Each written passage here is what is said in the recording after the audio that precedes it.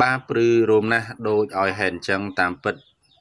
មុនពេលស្លាប់តារាសម្ដែងអៀងចេនឡាធ្លាប់បានជួបពកណូលអាក្រក់បែបនេះប៉ុន្តែពេលនេះតារាសម្ដែងនឹងចម្រៀងលោកអៀងចេនឡាបានលាអ្នកគ្រប់ត្រទៅរហូតហើយ ដោយលែងមានថ្ងៃត្រឡប់ហើយលោកអេនជេឡាបានទទួលមរណភាពនៅយប់ថ្ងៃទី28ខែកុម្ភៈឆ្នាំ2022កន្លងទៅនេះ លោកត្រូវបានគេដឹងថាបានទទួលមរណភាពដោយសារតែជំងឺអឺលោកអឺរលាកស្រោមខួរក្បាលយ៉ាងណាមិញនៅពេលដែលលោកអៀងចេឡាលាចាកលោកតារាចម្រៀងនិងសម្ដែងប្រុសរូបនេះបានគេដឹងថាធ្លាប់ជួបប្រថ្នុលអឺមិនល្អចំនួន1គឺកាលលោកនៅរស់ធ្លាប់ត្រូវបានគេយករូបថតរបស់លោកទៅដាក់នៅក្នុងមុខមួយឈូសអម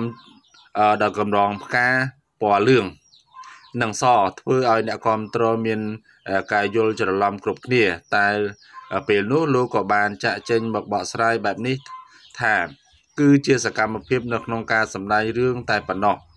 ទន្ទឹមនេះដែរក្រោយពីរឿងនេះកើតឡើងមិនបានប៉ុន្មានផងស្រាប់តែតារាសម្ដែងលោកអៀងជេឡាបានធ្លាក់ខ្លួនឈឺធ្ងន់ជាបន្តបន្ទាប់រហូតធ្វើឲ្យលោកបាត់បង់ជីវិតតែម្ដងទៅ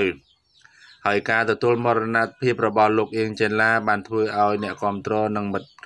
សិល្បៈជាច្រើនពិតជាមានការសោកស្ដាយជាពន់ពេកបាទឥឡូវតារាបាទចម្រៀងបាទល្បី